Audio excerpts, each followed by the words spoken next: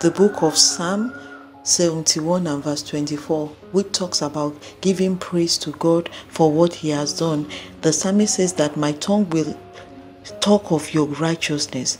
Let your tongue too talk of his righteousness. Use your mouth to praise him. Use it for his praise and glory. Talk about how he has given you victory. The psalmist said he confounded his enemy, brought them to shame, those who seek his heart. What has God done for you? Talk of his glory. Bye for now and stay blessed.